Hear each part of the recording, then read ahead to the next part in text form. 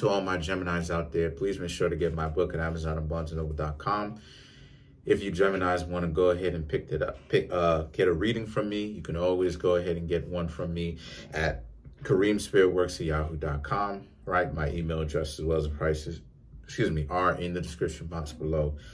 So, for my Geminis, you have the Six of Cups, okay, Three of Wands, Eight of Wands, the Moon. This is very interesting already. Three of Pentacles, Eight of Cups, Four of Swords, the Hierophant, the Ace of Wands, and last but not least, we have the Hangman. So for my Geminis, you have the Six of Cups, the Three of Wands, the Eight of Wands. Someone try. Someone is coming back to put to what I'm seeing here to potentially apologize for them breaking it off with you or things not necessarily going right with you because maybe this person cheated on you, you know what I mean, went behind your back with somebody else and uh, obviously you found out and what, right, you have the Eight of Wands, what a good relationship or potentially wor really working relationship that, that you thought you were in was now destroyed. And then the moon now, right, because it's something big, right? You have the Six of Cups, the moon. It was something big. They potentially put their hands on you, you know, which is not a good idea, by the way. But, um, uh, so the moon represents it being big. They really violated, you know what I mean, your sense of self. They really disrespected it. And again, which is not a good idea on their part. Uh, and the thing is, is that so you're you're thinking it over, you're you're reflecting on letting it go, right, as well as thinking about what you're going to reflecting on what type of steps you're going to do with this person. So the three of pentacles now is about you you forgiving them, right? Some of you Geminis may call these people up Tell them that you forgive them. Some of you Geminis may not uh, call them up, but you'll forgive them in your heart, right? And move on.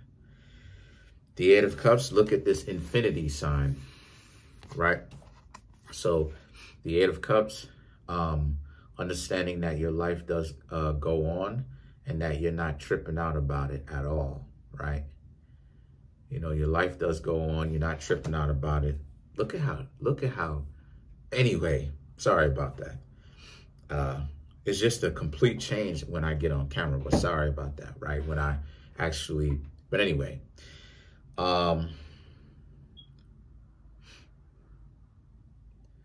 so, uh, wow. So the thing is, is that the, the Eight of Cups, like I said, represents that completely looking at the relationship, thinking about if you, if, if you Geminis can actually stomach getting back together with these people, right, for another try, or if it's, if you just have to forgive them and keep it pushing. The Four Swords, okay, um, this this relationship for you marked something important as well as sacred. So a lot of you Geminis wasn't necessarily into the whole um, uh, cheating on this person per se. A lot of you Geminis really very, really wanted to be in a monogamous relationship with this person.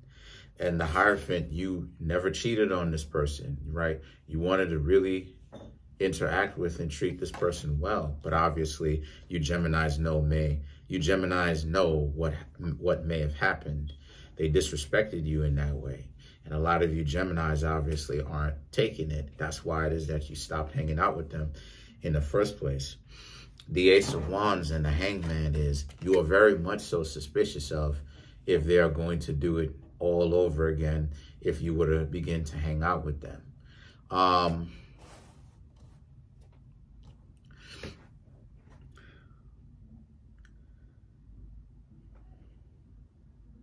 we're going to go ahead and clarify that.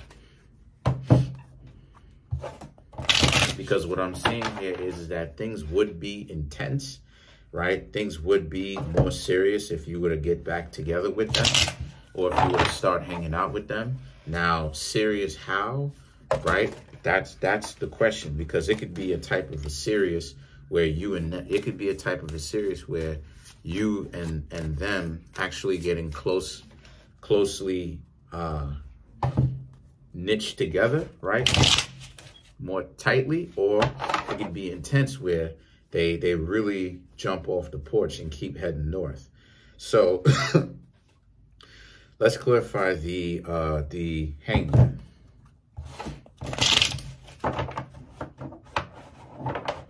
Maybe even some of them are saying that they could potentially wait on you uh, forgiving them, right? To just hang out with them and stuff like this.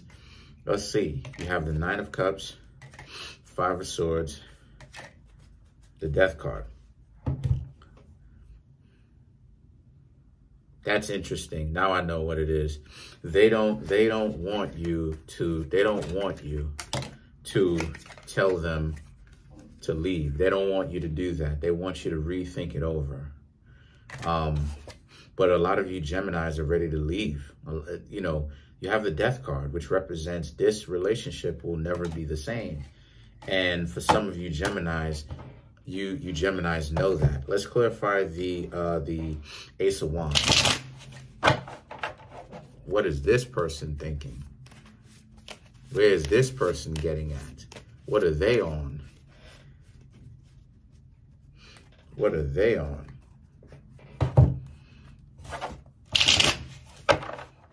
Let's see what's going on for my Geminis. You know, from, from this person's point of view. The Ten of Wands, the Three of Swords. Wow. The Six of Wands. This person uh, was heartbroken when you left. And they see that you was heartbroken because of the goofy stuff that they did but now they're trying to get you back because they see your value. Now, again, it just depends on, you know, what you Geminis want to do. Uh, are you going to give them another chance? Or do you Geminis think that this is just another ruse to get you, to get you to think of them as being changed people? It's up to you. Comment on the video, like the video, subscribe to my YouTube channel, share the video. Uh, let's try to get it to 2,000 subscribers, right? Uh, yeah. Peace.